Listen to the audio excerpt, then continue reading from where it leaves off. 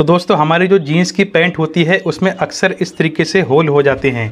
कई बार हमारी पैंट फट जाती है और कई बार पैंट जल भी जाती है, जिस वजह से हमारी पैंट में ये प्रॉब्लम हो जाती है। तो आप में से बहुत सारे लोगों को इस परेशानी का सामना करना पड़ा होगा। तो आज के इस वीडियो में हम आपको इस परेशानी का, इसका सोल्यूशन लेकर आए हैं। तो बहुत ही आसानी के साथ और बहुत ही कम टाइम में आप इसको रिपेयर कर सकते हैं। और देखिए, पहले हम पैंट को उल्टा कर लेंगे, ठीक है? तो जो होल हम आपको सीधी साइड में दिखा रहे थे, वो होल ये आ चुका है। तो इस होल पे जो ये जो धागे होते हैं, इसको हम कट कर देंगे इस तरीके से। ये देखें। तो देखिए, हमने पट्टी ले लेना है, जो पट्टी हम शर्ट पर लगाते हैं। तो ये पेपर पट्टी है चिपकने वाली पट्टी है। आप चाहें तो पेस्टिंग का जो कॉलर वाली पेस्टिंग होती है, वो वाला बुकरम भी ले सकते हैं। तो देखिए, हमने शर्ट वाली पट्टी ले लेनी है। तो जितना बड़ा होल है, उसके हिसाब से थोड़ी बढ़ाकर हम पट्टी लेंगे। ये देखें। तो ये जो होल है, इस होल को हम इस तरीके से मिलाकर रखेंगे पहले। इसमें गैप नहीं होना चाहिए, बीच में इस तरीके से नहीं होना चाहिए। उसके बाद हम इस पर प्रेस लगा लेंगे पहले। तो आप चाहें इस पट्टी को इस तरीके से थोड़ा और पतला कर सकते हैं। तो ध्यान देना है आपको, ये जो होल है तो ये पट्टी के बिल्कुल बीच सेंटर में आना चाहिए।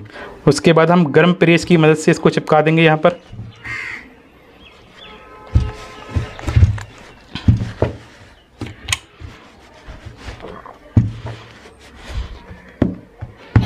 तो देखिए, हमने पट्टी को चिपका दिया है, आप देख सकते हैं।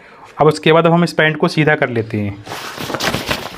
और उसके बाद हम यहाँ से भी इस तरीके से प्रेस लगाएँगे, सीधी साइड में। इस पट्टी को हमने बिल्कुल फिनिशिंग के साथ में चिपका दिया है।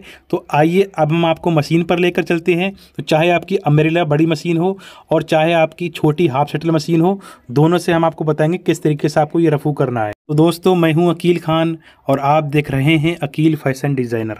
तो सबसे पहले हमको ध्यान रखना होगा, बिल्कुल सेम कलर का मैच का धागा चाहिए हमको। जैसा कि आप देख सकते हैं, इस तरीके से आप चेक करके देख लेंगे। उसके बाद हमको इसी सेम कलर का धागा वॉबिन केस में लगा देना है। देखिए, हमने इस तरीके से वॉबिन केस में धागा लगा देना है। उसके बाद देखिए, हमने यहाँ पर मशीन में इस तरीके से लगा दिया। तो देखिए, ये वाला धागा हम ऊपर चलाएँगे, उसके साथ में हम सेम इसी कलर का हमने इसमें धागा भर लिया है तो ये हम डबल धागा ऊपर से चलाएँगे। तो देखिए, मैं तो यहाँ पर रफू करूँगा तो मुझे तो एक ही कलर का धागा चाहिए। अगर मुझे यहाँ पर रफू करना होता तो यहाँ पर मुझे दो कलर के धागे चाहिए, एक क्रीमी कलर का और एक नीले कलर का। तो देखिए, सबसे पहले हम ये वोबिन लगाएँगे इस पर। ये देखें तो इसको हम बिल्कुल ऊपर कर देंगे। उसके बाद अब हम रील लगा लेते हैं। ये देखें तो अब हम इन दोनों धागों को एक साथ लगाएँगे।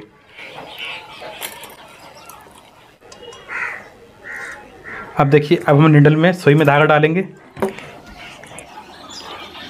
ये देखें दोस्तों। आइए, अब हम रफू करना शुरू कर लेते हैं। तो देखिए, ये जो कटा हुआ कपड़ा है, इससे थोड़ा सा हटाकर, यानी आधा इंच हटाकर यहाँ से हम एक सिलाई लगाएँगे इस तरीके से। बिल्कुल छोटी सिलाई चलाएँगे यहाँ पर, ठीक है?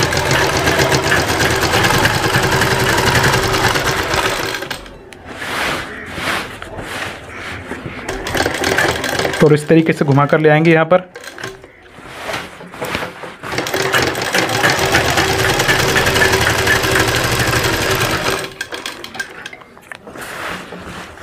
तो देखिए हम इस तरीके से सिलाई चलाएँगे यहाँ। देखिए, अब मैंने आपको बताया था, चाहे अमरेला मशीन हो, चाहे हाफ़ शटल छोटी मशीन हो, उसके लिए आपको यहाँ पर क्या ध्यान देना है? तो देखिए, अगर आपकी अमरेला मशीन है, ये वाली जो मशीन मैं आपको दिखा रहा हूँ तो सिलाई करते टाइम जो आप रफू करेंगे मशीन चलाएँगे तो इस तरीके से हमको इस तरीके से दबाना है। क्योंकि जब हमको सिलाई बैक करनी होती है तो हमें को इस तरीके से दबाना होता है। जब हम इसको नीचे दबाएँगे तो सिलाई बैक हो जाएगी, और जब इसको छोड़ेंगे तो सिलाई आगे को चलने लगेगी। अब बात आती है छोटी मशीन जो हाफ़ शटल मशीन होती है, उसमें तो ये होता नहीं है तो उसके लिए आपको क्या करना होगा? तो देखिए, अगर छोटी मशीन है हाफ़ शटल मशीन है तो यहाँ पर जो हमारा बूट उठाने का सिस्टम होता है, इसको यहाँ से हम बूट को उठाएँगे। ये देखें, यहाँ से इसको थोड़ा सा उठाना है। जब हम सिलाई को बैक करेंगे तो हमको थोड़ा सा इसको इस तरीके से उठाना होगा हाथ से, और इसी तरीके से सिलाई को आगे पीछे करके चलाएँगे।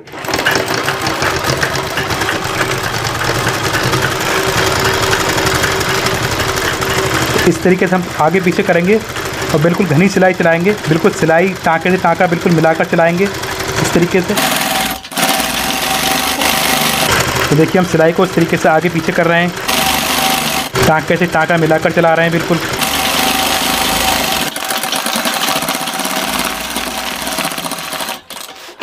तो ये देखें दोस्तों, कितनी खूबसूरती के साथ में हमारा रफू हो चुका है।